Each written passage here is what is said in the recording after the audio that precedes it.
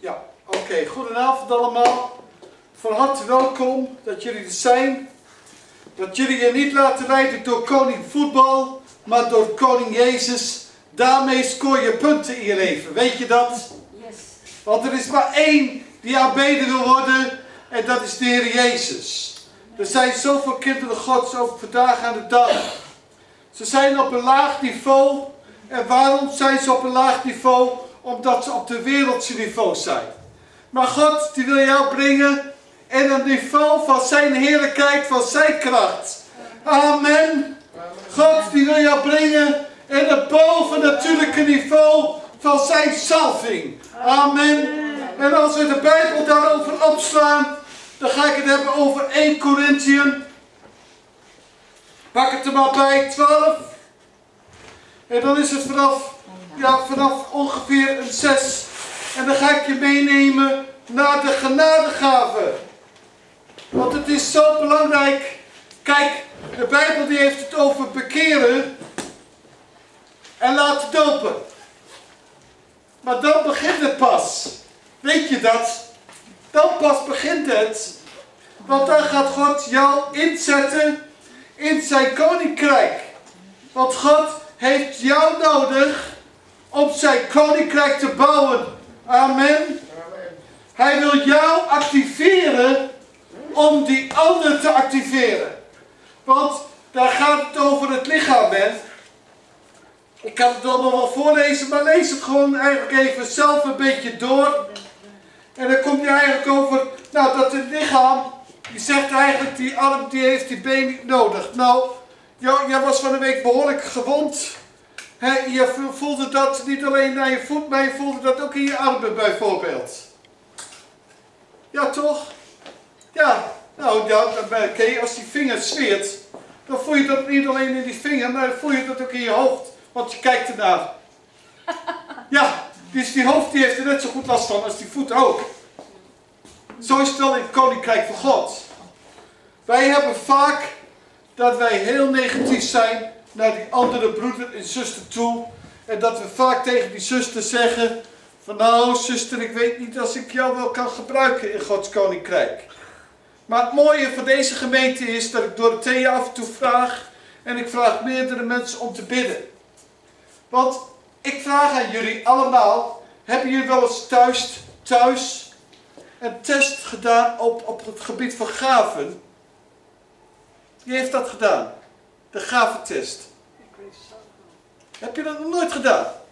Niet op die manier. Maar Nee. gewoon- Nou, als je thuis een computer hebt en je gaat naar de website van Regiopastor, dan zie je ook in het uiterste kopje zie je gaventest staan. En weet je waarom ik die daar expres neer heb gezet? Omdat ik wil dat jouw gave, dat die geactiveerd gaan worden in Gods Koninkrijk. Wist je dat?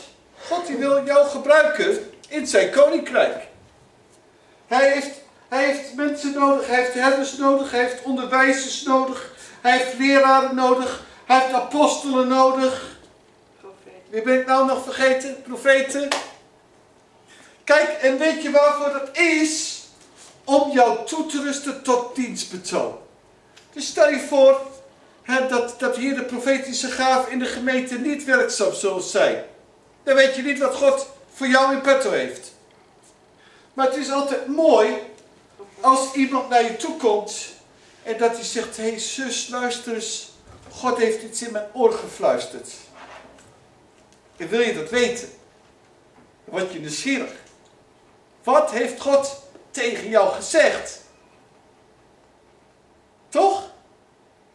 En als, en als het dan op een gegeven moment uitgesproken wordt en het komt naar je toe, dan ga je de Heer danken. Dan zeg je, oh vader, dank je wel voor deze broeder, want hij heeft mij geactiveerd. Zo moet het zijn. Vaak is het in het koninkrijk van God anders. Worden vaak mensen gedest, eh, geactiveerd niet, maar worden ze eh, wordt, wordt in de war gebracht. Gede- Gedesoriënteerd. Desoriënteerd. Ja, dan, dan krijg je daarmee te maken. Dat zag je vroeger in heel veel gemeentes, zag je dat. De voorganger, hij wist zogenaamd alles. En het volk, daar kon blijven zitten in de zaal. En als iemand van de broeders of de zusters een woord had, dan werd het nooit uitgesproken. Er werd nooit iets gedaan met de gave. Maar God die heeft het aan ieder gegeven van ons. Allemaal. Halleluja. Kijk, God die geeft openbaringen van de geest. Werkingen van de geest. Bedieningen van de geest. En dan denk je, ja maar Heer, dat zal wel vast en zeker niet voor mij zijn. We hebben dat vaak hè. Of, of we zijn eigenlijk bescheiden. Van ja vader, ik weet niet als ik die taak wil, als ik dat wel aan kan. Toen David geroepen werd tot koning, was hij er ook nog niet geschikt voor. Want David was de verschoppeling van de familie. Het was eigenlijk zelfs een buitenechtelijk kind. Wat niet bij de familie officieel hoorde. Maar prijs de Heer, er was een profeet en die luisterde naar de stem van God. En deze profeet, die zegt op dat moment tegen de vader van David, van hé, hey, heb je nog een zoon? Want ik heb ze allemaal gehad. Maar je hebt nog één zoon, want ik hoor dat van de Heer dat jij dat hebt. Dus God zag David op een hele andere wijze als dat zijn vader David zag. En het mooie is op dat moment, wij kijken vaak naar de buitenkant, we kijken vaak naar een Eliab. Oh, Eliab die zal wel heel veel genadegaven zal die hebben. Maar helaas was bij Eliab het niet het geval, want hij was verworpen door God. Maar God die kijkt naar jouw hart. Hij kijkt naar jouw dienstbaarheid. Hoe dienstbaar ben jij in Gods koninkrijk? Geven. Gewoon het geven, waar, waar zuster Dorothea het net over had. Dat is zo belangrijk in Gods koninkrijk. Want Jezus zegt, ja, toen ik, ik had honger, ik had dorst. Ja, maar Heer, heb ik het u gegeven? Nee, maar als je het aan iemand geeft, dan geef je dat aan Jezus. Gewoon die ene glimlach. Je loopt door de stad. Je kijkt gewoon iemand aan. Je gaat gewoon glimlachen. Geef die ene glimlach aan die persoon. En die persoon die zal, zijn, zal veranderen. Die zal misschien naar je toe komen en die zal zeggen, kan ik jou? Ja, je kan mij. Want mijn focus was op jou. Zo is ook Gods blik op jou gericht om jou vandaag te activeren in zijn koninkrijk. De geestesgave is een werking van Gods geest. Halleluja. Het is de werking van Gods geest. Het is niet iets menselijks. Het is iets bovennatuurlijks. Het mooie was, jaren geleden, ik was bij opwekking daar in die tent. En dan heb je allemaal organisaties heb je daar staan. En eh, er was ook een, eh, van de organisaties, Wycliffe, Bijbelvertalers. En die hadden die gaventest hadden ze daar. En ik mocht hem doen van deze vrouw. En ik deed gelijk maar 40 vragen. En er kwamen heel wat dingen uit. Ik denk, oh wauw heer, dankjewel. Wat u met mij van plan bent. Oh, ik ben opgewonden. Ik ben opgewonden, want u gaat iets doen in mij wat nog nooit is geactiveerd. En dat gebeurde ook. Eigenlijk zou je kunnen zeggen, hoe meer je de genadegave krijgt van God, des te meer mag je werken in Gods koninkrijk. En dat is genade. Het is niet omdat jij zo goed bent. Het God ziet jouw hart aan. Die ziet van als er iemand bij jouw deur komt die niks te eten en te drinken hebt, dat je hem gaat geven. Begrijp je wat ik bedoel? Dat is ook een genade. Hè? Gewoon geven aan iemand. Vraag het erom. Je geeft gewoon. Kan denken, ja, maar ik ben toch niet gek. Nee, soms moet je gewoon durven geven. Ik had het een keer ma maakte ik mee dat wij een oplichter bij ons in huis hadden bij onze deur. En deze man die kwam dan zogenaamd uit Spanje. En hij was dan uh, hier in Nederland en hij, had, uh, hij was ziek. Hij had eten nodig, hij had geld nodig voor behandeling en al die dingen meer. En ik heb dat gegeven. Wat hij vroeg aan mij, ik heb hem dat gegeven. Later was ik bij een andere pastor op kantoor. En het bleek dat dezezelfde persoon eigenlijk heel Nederland afgegaan was bij heel veel voorgangers. En ook bij deze pastor. En nou, deze pastor die zei tegen mij, heb jij hem gegeven? Ik ja, ik heb hem gegeven. Ik heb hem gevoed. Ik heb hem niet met lege handen naar buiten gestuurd. En ik heb nog voor hem gebeden. En ik heb nog mijn handen op hem gelegd. Hij zei, dat heb ik niet gedaan. Ik heb hem zo weggezonden. Zonder iets te geven, want ik geloofde niet in hem. Toen waren er een andere stel pastors, die waren erbij. En die zeiden tegen mij, Hans, well done. Goed gedaan. Je hebt gewoon gedaan wat er in de Bijbel stond. En als er nou een oplichter is geweest of geen oplichter geweest is, een kind van God of geen kind van God. Je hebt gedaan wat er in het woord van God stond. En dat moeten wij doen. Want dan gaat God jouw leven gaat hij veranderen. Amen. Dat is genade hebben. Talent. Hebben we ook mee te maken. Meestal worden genadegaven, die worden een beetje verward met talenten. Stel je voor, je kan heel goed schilderen. Is dat een genadegave, zuster Ilse? Ja. Of, is dat, of is dat een talent? Dat is een talent. Juist, schilderen is een talent. Dat je kan zingen is een talent. Profiteren, wat is dat? Genadegave. Genadegave. Onderwijzen. Kan een genadegave zijn. Het kan ook een natuurlijk talent zijn.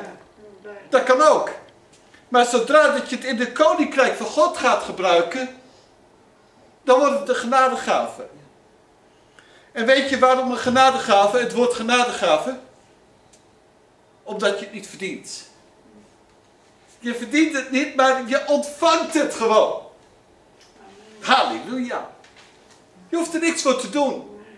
Dus dan op een gegeven moment, dan gaat God tot je spreken, tot je oor. En dan ga je iets zeggen tegen een of andere broeder of zuster. Dan wordt hij of zij wordt bemoedigd. Hé, hey, wauw. Die persoon wordt geactiveerd. Zo mogen we elkaar activeren in het koninkrijk van God. Want God die wil dat. En dat wij op een gegeven moment uit gaan stappen. Amen. En God bepaalt welke geestengave je krijgt. Amen. Maar streef ernaar, hè. Streef ook naar de hoogste gave. Ja? Wat kan ik betekenen voor die anderen? Hè, wat, hoe wil ik het gaan doen? Want God die heeft een plan met jouw leven. En hij wil dat jij tot zijn doel gaat komen. en en uh, kijk, we zijn allemaal, zijn wij, de meeste hier zijn gedoopt. Dus ik wil jou vragen, de personen die gedoopt zijn en die eigenlijk nog nooit die gaventest hebben gemaakt, ga morgen eens naar de website van Regio Pastor. Maak die gaventest daar eens voor jezelf. En kijk gewoon wat er uitkomt. En wat je ook kan doen, is samen met, met een andere broer of een zus die jou goed kan, die test maken. Want je kan ook soms te bescheiden zijn over jezelf, maar je kan ook wel eens een keer een andere oogpunt over jezelf hebben. Maar ga dat eens doen, want dan gaat de ding in je leven geactiveerd worden. Kijk, als je kijkt naar, naar, naar, niet naar mijzelf, begrijp mij goed. Maar barmhartigheid. Gewoon barmhartig zijn voor iemand. Gewoon luisteren naar iemand die het moeilijk heeft. Dat is geweldig. Is mooi dat je dat kan doen. Iemand kan helpen, dienen. Bijvoorbeeld iemand die heeft een, een klus in huis. En jij zegt op dat moment van nou, hé hey, weet je wat, ik ga jou dienen. Iemand die kan bij belastingpapieren bijvoorbeeld niet goed invullen. Nou, je gaat die persoon dienen. Dat is zo goed. God die wil dat we elkaar dienen. De Bijbel zegt dat, dien elkaar door de liefde. En weet je, de liefde is het hoogste. Ja, amen. Want we kunnen spreken in talen van mensen en engelen. Maar als ik de liefde niet had, ik was niets. Dus de liefde is een van de belangrijkste gaven die God jou geeft. Om uit te durven stappen. En als je dat gaat doen, dan gaat je leven drastisch veranderen. Dan moet je vragen aan God van Heer, train mij in liefde. Wie heeft dat wel eens gedaan? Halleluja, er is maar één die het durft te vragen. Als je dat gaat vragen, oh vader, train mij in liefde. Dan krijg je de volgende ma- morgen te maken met een zagrijnige buurman. Ja, ja, ja. Oh, en deze buurman is terrible, erg. Ja. En dan denk je, oh, en dan zet hij in. Je wou toch getraind Ja, we moeten getraind worden in alles. Je moet durven. Kijk, als ik kijk naar, naar regiopastor, hè, lieve mensen, even tussen jullie en ons eh, gewoon in. Hè, tien jaar geleden, de Heer zegt tegen mij, Hans, ik wil dat jij een telefonische hulplijn begint. Vader, ik? Ik? Ja, zegt de Heer. Ja, maar vader, ik heb geen verstand van moeilijke mensen. Daar heb ik geen verstand van. Nou, zegt de Heer, kijk maar gewoon naar jezelf. Denk, ja, ik ben wel door heel veel problemen in mijn leven heen gegaan. En ik heb ook wel eens een keer aan een koord willen hangen. Ja, niet als ac- acrobaat. maar dan denk ik, dat, ga- dat zeg God, denk eens aan die momenten dat jij door die daal heen ging. Denk daar eens aan. Denk eens aan de momenten dat jij lag in een crisis van dat je een relatiebreuk had. Denk eens aan de momenten dat je aan de drank was of aan de drugs en dat je daar in die goot lag. Hoe voelde jij je? Ja, vader, daar wil ik eigenlijk niet over nadenken meer. Dat heb ik ver achter mij. Maar weet je, God die kan die dingen die je in je leven meemaakt gebruiken vandaag aan de dag. Want ik woon naast een alcoholist en ik hoop en ik bid voor hem dat hij Jezus mag leren kennen. En ik heb vaak met hem gesprek gehad. Begrijp je wat ik bedoel? We kunnen wel prediken, maar mijn prediken moet zijn op straat. Hè? Jezus komt gewoon iemand tegen. Zegt, hé hey, joh, je bent blind. Oké, hier een stuk modder. Hoppakee, in je ogen. Alsjeblieft. En hij werd ziende. Halleluja. Ja. Kijk, we kunnen elkaar proberen het ogen dicht te drukken. Dat gebeurt in heel veel gemeentes. Dat is ook wel een gave of een bediening. Dat er nog heel vaak ligt. Ik weet het beter als jou. Die geest die hangt nog in heel veel gemeentes. Hangt die nog. Van nou, broeder. Hoef je niet Litouws voor te zijn. hoor. Maar ze trekken wel met de ellebogen iemand opzij. Want zij vinden zichzelf belangrijker dan een ander. Dus dan is die geest van Eliab is nog in de gemeente aanwezig. Die Eliab die wou het wel laten zien. Van eens, ik weet het beter als mijn broertje. Maar broertje die bleef gewoon op zijn plek waar God hem had gezet. En hij had gezegd van nou oké, als jij gaat zorgen voor die schaapjes. Ja, dan denk, dan denk je dat het een easy bediening is hè. Dan denk je, oh vader ik heb geluk. Mag maar zorgen voor die paar schapen. Nou dan ben je blij hè, dan zit je daar hè, op de ei. Je fluitje erbij, zodat je David ziet. En David is tevreden en die fluit een fluitje. En dan komt er op een gegeven moment de leeuw aan. Oh my god. Oh jee. Wat moet ik nu doen? Pak hem maar. Hoppakee. Klaar. Dan komt er een beer aan. Kijk, het mooie is dat God wil dat onze karakter wordt, wordt getraind. Training. Vandaag aan de dag, als je kijkt hoeveel duizenden euro's door bedrijven uitgegeven worden om hun personeel te trainen. Wat. Gewoon heel eenvoudig dat het personeel niet de kantjes eraf loopt. Maar dat doen we wel, in, de, in de Gods Koninkrijk doen we het wel. In Gods Koninkrijk dan denken we, ach vader, morgen. morgen komt het wel. En dat God zegt, nee, ik wil dat je het vandaag gaat doen. Als je vandaag een woord krijgt van mij, dan moet je het vandaag doorgeven. Niet morgen, want dan vergeet je het misschien. Maar de kinderen gods ook, die moeten getraind worden. In alles. En als ze getraind gaan worden, dan krijgen wij het karakter van koning Jezus in ons leven. Dan wordt het een automatisme.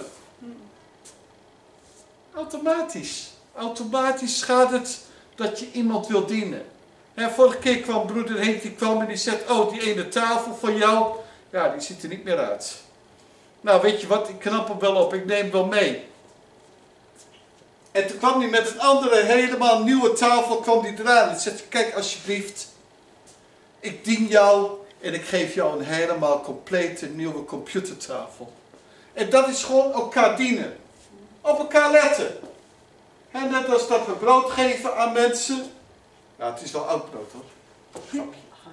Het is die dag, het is brood van die, die dag. Maar het is aan het eind van de dag en dan mogen we dat brood weggeven. Dat is gewoon dienen. Zo wil God dat je elkaar dient. Hè, en dan heb je op een gegeven moment een woord van kennis voor iemand. Dan zeg je nou, luister zuster, ik geloof erin eh, dat eh, maandag die vliegtuig wel opstijgt, maar hij komt misschien niet meer naar beneden. Nou, grapje. maar misschien krijg je wel een openbaring.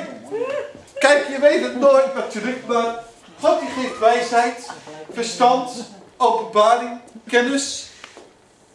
En stel je voor, ik maakte mee iemand, en deze vrouw is profetesse, en ze zegt tegen haar man, koop dat pand daar maar. Wat zegt hij, waarom zal ik dat doen? Dat pand kopen. Ik heb er geen belang bij. Ze zegt, koop dat pand nou alsjeblieft. En hij zegt, nee, doe ik niet. Drie jaar later, die pand die werd verkocht, geloof ik, voor 300.000 euro. Drie jaar later was het vertienvoudigd. Vertienvoudigd. Dus was het 3 miljoen euro was het grondwaard. Want de gemeente had het nodig. Dus als God jou een openbaring geeft van kennis, luister dan naar God. Doe daar iets mee. Want de geest van God is niet alleen maar profetie. Hè, op, op zieken de handen te leggen en ze zullen genezen. Er is zoveel meer. Welke gaven zijn er allemaal? Wie? Dotje. Hoeveel? Ja, nou noem ze op. Doe maar. Gaven van genezing. Gaven van genezing. Ja, amen. Gaven van profetie. Gaven van profetie. eh, Tongen. Van tongen. Nee, dat niet. Wie een tong spreekt, die sticht zichzelf. Dus is weer anders. Wijsheid had ik het net over. Openbaringen. Van geloof is ook een hele belangrijke. Weet je, de gave van geloof is een van de belangrijkste gaven. Een van de belangrijkste. Want als je kijkt naar die hoofdman over honderd. Hij komt bij Jezus. En hij zegt, spreek slechts één woord. En mijn dochter zal genezen zijn. En Jezus die zegt tegen hem, ik heb nergens zo'n groot geloof gevonden. Dus jouw geloof is een belangrijk onderdeel van ons. Wat wij denken, wat wij voelen, is geloof. Geloof, uw geloof heeft u. Amen. Dus dat is zo belangrijk om dat te onthouden, dat wij ook in het geloof zijn. Dus, maar kijk, als ik kijk naar, dienen, daar ga ik het nog even over hebben. Jaren geleden, toen ik Erna niet had, ik wou eerst naar, naar het buitenland toe. Ik wist gewoon, nou heer, ik ben goed met een hamer en een spijker. Ik heb ervoor gezorgd dat ik me nooit op de vingers sla, want ik houd de hamer met twee handen vast. Dus op dat moment is het gewoon dat ik kon naar buitenland gaan om te bouwen. Ik wou graag eigenlijk gaan bouwen in Gods Koninkrijk. Gewoon bouwen een weeshuis voor kinderen. Maar oké, de Heer die had andere, andere ideeën voor mij. Maar stel je voor dat je iets kan doen. Want wij schreeuwen allemaal, hè? Allemaal schreeuwt de wereld. God moet de wereld veranderen. Zeggen ze allemaal. God is daar verantwoordelijk voor. Ah, ah.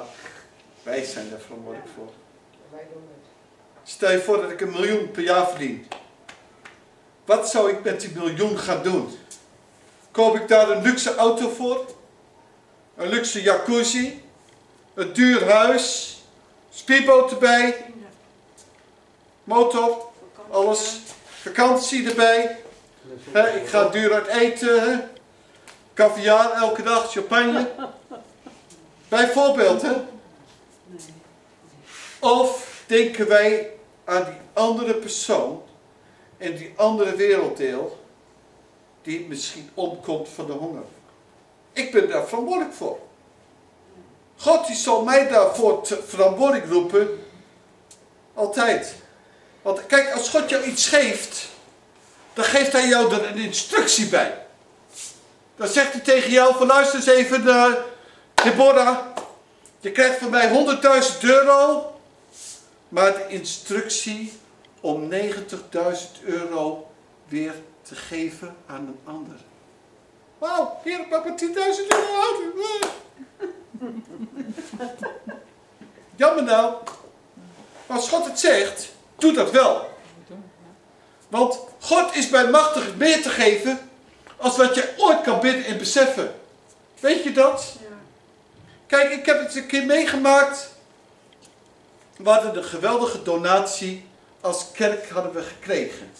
Geweldige donatie. En ik was er zo blij mee. En Erna ook. En Erna en ik, uh, nou Erna die, die zit graag op de cent hoor. Ja, ze is goed met centen uitgeven. Met, met niet uitgeven. Juist niet uitgeven. Ik ben het wel. En op dat moment we hadden geld gekregen. Nou, en we waren wel blij met het geld, want ja, de gemeente die had het wel nodig.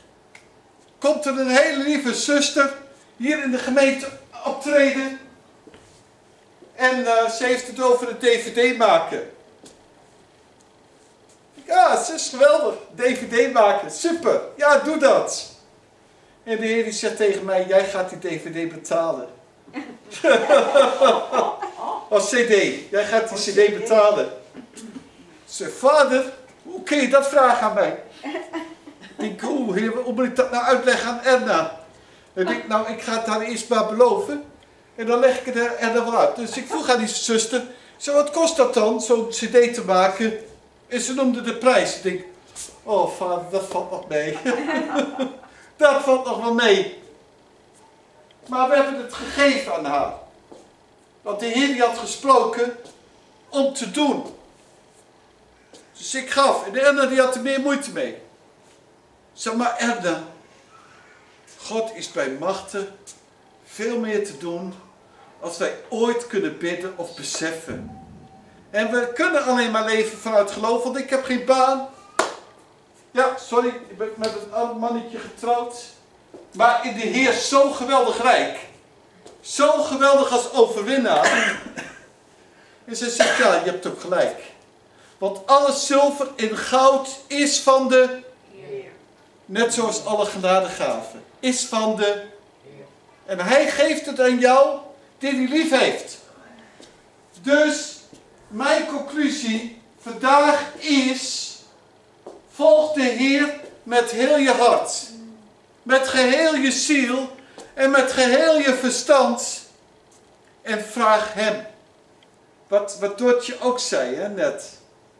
Niet vragen, hoe zei je dat nog maar? Kinderen vragen worden overgeslagen. Die worden overgeslagen, maar kinderen die zwijgen hebben kans niets te krijgen. Juist. Dus als je zwijgt, mhm. zal je niks krijgen. Dus als je niet gaat vragen aan God, dan zal je ook niks ontvangen. Zo is het gewoon. De Bijbel zegt daarom ook, vraag in mijn naam en het zal u gegeven worden. Dan moet het wel in naam van God zijn. Dus ik kan wel vragen om een miljoen aan de Heer Van nou vader geef mij maar een miljoen. Maar als ik daar niks mee doe in het koninkrijk van God, is de autoriteit van God er ook niet over. Maar kijk, hè, bijvoorbeeld, soms eh, we hebben een auto hebben we nodig. Nou, ik zeg, vader, mijn auto drinkt gewoon veel te veel. Ik heb er geen geld voor. Heer, u weet wat ik voor nodig heb. Nou, toen later komen wij bij een garage dealer en die geeft mij een gratis Ford Focus. Dat doet de Heer. en bij, bij die andere auto was de tank altijd leeg en hier is hij altijd vol. Begrijp je wat ik bedoel? Vraag in mijn naam en het zal je gegeven worden. Dus je moet wel in de context zijn van Gods koninkrijk. Want als jij vraagt in Gods koninkrijk van de Heer, ik heb dit nodig, dan zal de Heer jou gaan geven. Want de Heer wil nooit zijn kinderen met lege handen laten staan. En zo is het ook met alles. Dus wat ik jou wil vragen, is deze komende week deze test te gaan doen. En schrijf het dus op waar je goed in bent. Dat staat straks bij dienen. Een 4 of een 5 of een 6. Helpen staat erbij. Onderwijzen. Al die dingen, dat staat erbij. En ga eens kijken waar je goed in bent. En bespreek dat eens met mij. En ik zal het fijn vinden om jou daarin te mogen leren kennen. Want God heeft werkers nodig in zijn koninkrijk. God die wil zijn liefde aan jou geven. Ilse, wil je de camera uitdoen? Ja? Oké. Nou vader, ik dank u wel Heer dat wij mogen zijn